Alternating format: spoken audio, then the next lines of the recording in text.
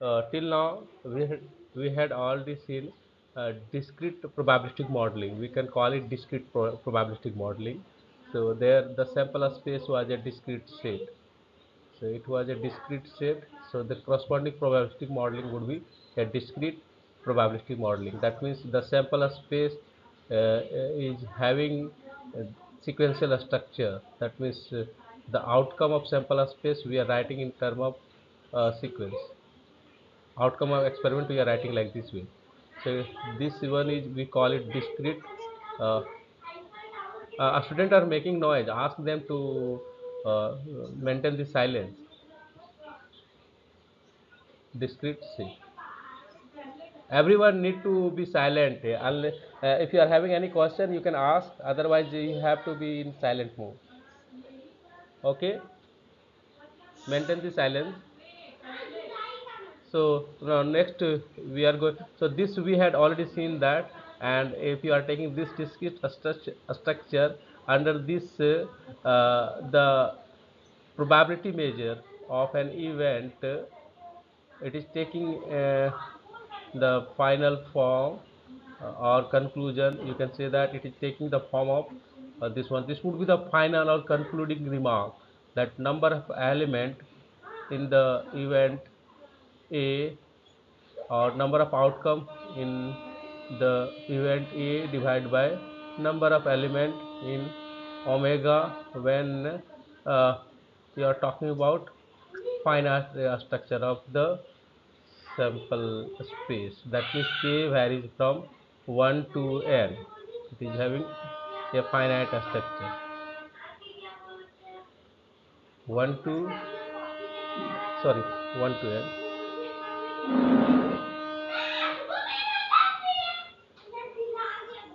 one two n finite sequence. We are calling it finite sequence. Now other also in finite sense also i had discussed. Now what will happen in this scenario?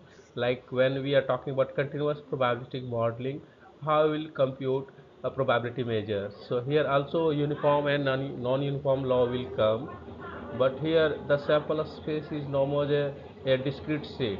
That means uh, we fail to write uh, the sample space in terms of a single sequence. That scenario. What does it mean? That means the sample space is containing an interval or union of interval. So this one is okay. So it implies that uh, here uh, there might be some some kind of interval within the sample space. That means we talk about continuum point point of uh, points which occurs in continuum manner. There would be no gap kind of thing. So simply it is uh, we are calling it interval. Some kind of interval would be there inside the sample space. So this is meaning of continuous sample space. If that is the scenario then how we will compute probability measures. And the process we will call it complete uh, uh, that continuous probabilistic uh, modeling. Now so if you are having uh, uh, a interval then can we talk about some kind of finite structure in the interval? So definitely the points uh, are infinite in number even uncountable in number. Points are not finite but other way we can talk about finite structure of this interval so what kind of finite structure we can have? So simply if you talk about interval so this is the interval uh, uh, in real line we can express as uh, through this way. That means all the collection of all the number which falls between uh, the real number x and a. This interval means uh, we say that uh, x is observing value between a and b then how we can come up with a finite structure. So so this interval uh, equivalent to we can say it like this way. So how we can come up with a finite structure? So finite stru- structure we are getting it here with respect to partition. That means uh, we can partition the uh, given uh, interval into sub intervals there uh, except the terminal point no common points would be there. No common point. So we uh, that means we are subdividing the interval into sub interval so subdivision like uh, if you take uh, you are willing to subdivide interval into sub uh, two sub interval that means uh, we are talking about n equal to uh, what? n equal to one uh, uh, 2 we are talking about two sub n is count of number of sub interval so if we are talking about two sub interval then how many terminal point would be there? There would be uh, three terminal points. What are those? First terminal point we call it a we call it initial terminal point. That we will denote it by uh, x naught. We will call it x naught. Okay x naught equal to a. And there would be another or node nodal point. You can also call it nodal point these three nodal point would be there if n equal to 2 then here this this we call it intermediate nodal point and the last nodal point uh, b we call it x2 so if we are taking here n equal to 2 that means we are uh, saying that we have partition or divided the sub uh, the interval ab into two sub interval. One sub interval is this uh, this one is the sub interval what is name of this sub interval you can call it it is uh, actually uh, a sub interval taking value between x naught and x1 x naught and x1 and there is another sub interval that one is taking value between x1 and x2 so this sub interval uh, this one is talking about the value of uh, real numbers between x1 and x2 so if you talk about these two subinterval then there are no common point except x1 the common terminal point of these two subintervals. So uh, uh, you can uh, uh yeah that is the case. And another is that if you take union of these two subinterval so what would be that? That would give back to us uh, the original interval a to b. If you talk about union of x naught to x1 and x1 to x2 then it will give back to our original given uh, interval a to b. You remember that x naught is here equal to a and x2 is equal to b the final terminal point or final nodal point or also you can call it node as well okay. So this uh, union of this uh, these two subinterval it is giving a. So that means we say that a the in, given interval ab we have partition into two sub interval ab okay. So okay. So this this is we say that partition of a of an interval okay? And all this scenario if you try to see uh, you can express it uh, it is uh, just involving x naught x1 x2 okay? So this all this uh, concept what i discussed uh, you can summarize it, it through by a uh, simple notation.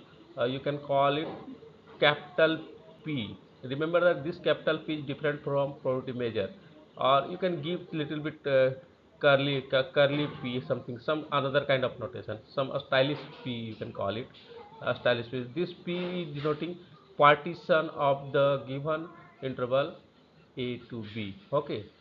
And here uh, you are taking point from uh, just it is denoted by uh, nodal points x naught x1 x2 okay?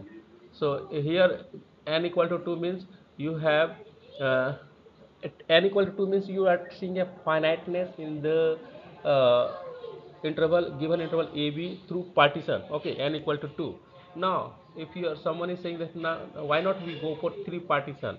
So if you are talking about three partition that means uh, to, in total there would be four nodal points. If you are taking two partition uh, two subinterval then there in total there are three uh, node x0 x1 x2 if you talk about uh, three uh, partitions then it will talk about uh, uh, four nodal point what are those? X0 x1 x2 and x3 okay so n equal to 3 if you talk about x, n equal to 3 then this interval given interval ab it will be partitioned into three sub interval so take it uh, a you will again call x0 okay you will denote it by x naught equal to a. Then first intermediate nodal point would be x1 the second inter intermediate nodal point would be uh, x2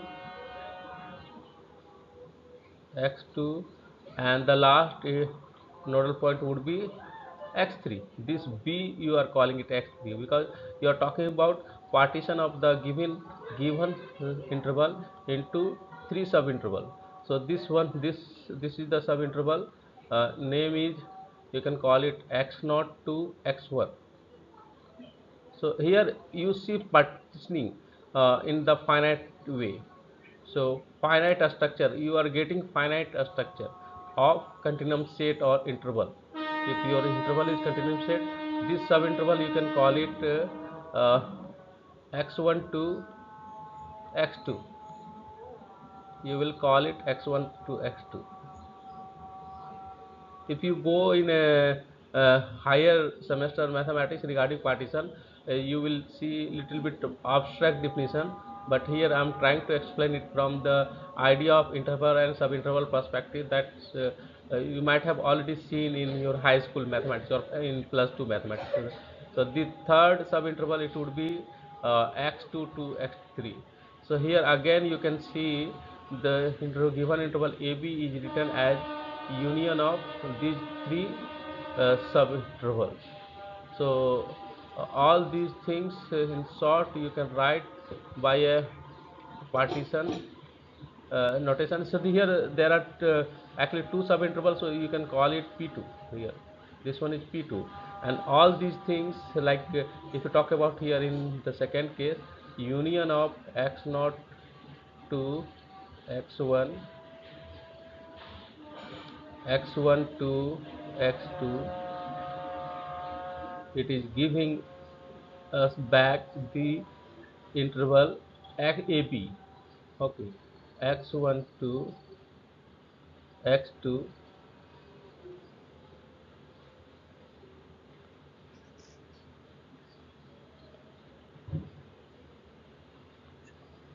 up to don't make a noise just maintain the silence. If you are having question you can ask.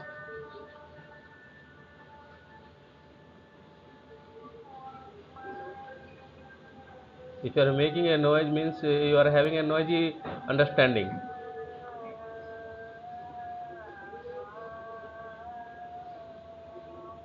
Okay. So union of this one uh, happens to be this subinterval happen to be equal to the given uh, interval AB okay. So all these what I discussed uh, summary in case 2 you can denote it by P3 that means we are talking about uh, partitioning of uh, the given uh, interval into uh, three subintervals. So you can denote it by uh, p3 and all the summary you can it. this is summary or summarized notation you can call it. Uh, having x naught points first as a first point. Second point nodal point is x1 third one is x2 and fourth one is x3 so like fourth one is x3 you can call it. X, x3 sorry.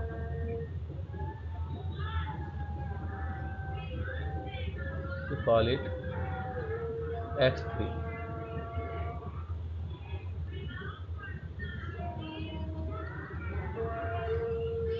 okay so this one summarize one. Okay likewise you can talk about n equal to 4 n equal to 5 and uh, I'm, I'm now talking about general n. Okay n I'm talking about n. Okay the last case you can see that. So in this case uh, you are, if you, that means you are talking about partitioning of uh, uh, the given interval into n number of subinterval. Okay. So here you call a as x naught again. Then the next point would be x1 then x2 then uh, if you talk about ith point that would be xi where i will vary from 0 to n. So this point you call it xi so generic uh, subinterval i am taking it. This point would be xi minus uh, xi plus 1 xi plus 1 okay. I so i have to put here dot. And likewise this point call it uh, x and uh, xn and the penultimate uh, point you can call it x uh, n minus uh, 1 minus 1 so xn is what? It is actually equal to b the last point uh, terminal point of the interval. So it will again follow the same pattern like if you talk about union of these subinterval uh, Uh, how many subintervals are there? 1 2 3 up to n. So there in total there are n subintervals. So first subinterval is x0 to x1 and the, the last subinterval would be so it will go like that union of x1 to x2 x2 to x3 and like the last subinterval would be uh, xn to xn minus 1 to xn xn minus 1 to xn okay and union of this subinterval uh, this n number of subinterval it would be equal to uh, the original given sub given interval AB. So that means we have partitioned the interval or continuum set into n number of subinterval. Okay, and so all these story uh, in the same way you can call you can summarize in uh, through partitioning notation uh, that pn you can call it pn and just you will mention here nodal points. The nodal points are here x not x1 so in total n n plus 1 number of nodal points would be there. If you are willing to partition a given subinterval into n subinterval then you will get n plus 1 nodal point. Okay this is the partitioning approach so in any calculus or analysis book uh, you will see this kind of explanation. Okay. So uh, here i am asking or i am explaining that i am suggesting you to see finite structure in a continuous set. Okay in a, in a continuous state i am asking to see a finite structure. That is the approach. Because we are dealing with a continuous sample space and if you talk about point wise approach there are uncountable number of points in a uh, continuous sample space. And then how we can see finiteness. So this finiteness is coming through that this n number of subinterval. And uh, if you say that uh, what is the basis of this partitioning approach? So there is a famous Heine-Borel theorem. If you are willing to uh, follow it in deeper way Heine-Borel theorem say that every uh, compact set can be uh, uh, uh covered by a finite open cover. So that one is little bit uh, that means you can pack a compact set means compact interval like interval wise you can say that it is a closed interval and bounded. So it, uh, this uh, interval ab it is closed and bounded as well both uh, so you don't have to worry much. Uh, so you can uh, pack these uh, this kind of interval into finite number of open sets or open interval kind of thing. Okay you can pack like that. So that's why it is based on that Heine-Borel theorem that one. So we are packing it in a finite interval. So element of uh, the interval AB uh, we are packing in finite number of subintervals. Okay so it is one kind of packaging. Okay like uh, uh, someone it is uh, distributing in the finite number of packets a small packet or some uh, subinterval. So that that is the finite structure what we call. Okay. And if it is an open interval we can't do that. Only closed interval can be uh, partition into finite number of subinterval uh, in that packing approach what i am saying that. This, that is the meaning of finite structure then now once you are having idea of understanding what is how we get finite structure in a continuous set then we will discuss about computation of probability measure for continuous sample space. Okay in the perspective of continuous sample space. Till now anyone is having any question? Anyone? Okay so is it clear to everyone? Is it clear to everyone how you got finite structure that i say that. And why? Then it is based on Heine-Borel approach. Heine-Borel approach. We need to see partitioning approach that in the next we will see how it is coming there uh, in order to compute probability measure. It is all about partitioning finite number of partitions. So you can go for uh, partition into two sub interval or three sub interval or n sub interval or you can go further refinement. You can refinement means uh, you are trying to uh, decrease the width of a sub interval so as decrease as possible like that. And there here it will come uniform principle in sense that uh, you are partitioning this uh, given interval into sub interval of equal length. E equal length. That means uniform partition. All the uh, uh, uh subinterval are having same length same same length same width. We call it same width. And further uh, proba probability of this subinterval would be uh, proportional to the length proportional to the length. So all these we will see it here like here. Let us again in order to uh, explain further I, I need to erase all these. Okay so uniform probability measure is defined on the sample space with finite support. You can call it uh, uh, that means uh, uh, a sample space is either finite set or compact set.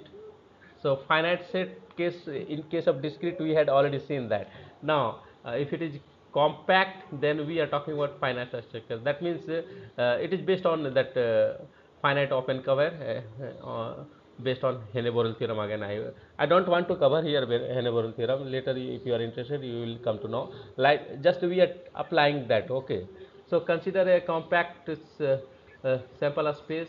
That means a closed and bounded. So bounded means length is bound uh, bounded. Le length is a fixed number. That means a and b are real number. Then what would be length of this uh, interval? It would be b minus a. That means that one is a finite say finite length okay and this one is interval with finite length. So that's way and means uh, in short we can say that we are talking about uh, compact uh, interval. Okay compact interval or closure bounded interval. And here uh, under the uniform uh, probability measure what we have to do so uh, we have to partition into n plus 1 nodal points or n subinterval. We call it subinterval and each uh, subinterval is having the same width. We will denote it by delta. Delta is what? Xk minus xk minus 1 okay. And if you, you say that the uh, total width of this uh, uh, in interval is v minus a and we have divided into n number of subinterval starting from a to b n number of subinterval and each subinterval is having uh, width delta and equal width delta. So a delta if you sum it n time that means uh, uh, delta plus delta plus delta for all the sub interval it would be equal to total width of the interval. That is what b minus a. That's why you can say that delta is actually equal to b minus a divided by n okay. So it is coming through uniform pattern. Okay. Further uniformity is like that. So if you are saying that uh, the points are distributed in the interval in such a way that uh, probability of uh, uh, subinterval if any subinterval it is just proportional to uh, width of the uh, subinterval. And later we will see that under the uh, equality of uh, uh, probability of those subinterval uh, that constant would be same. Okay. So uh, we are saying that probability of uh, uh, this subinterval is proportional to delta. So you can call it uh, probability of this subinterval is actually equal to ck time delta. The ck is the proportionality constant k varies from 1 to n because there are n number of uh, subintervals. Okay. And if you talk about uh, this condition that probability of this subinterval is equal to probability of this subinterval equal to probability of this subinterval. Uh, through uniform principle then this will talk about uh, c1 time delta equal to c2 time delta equal to c3 time delta equal to cn time delta. So, so delta will cancel out everywhere and we will see it here c1 equal to c2 equal to ct all, all these are the same constant.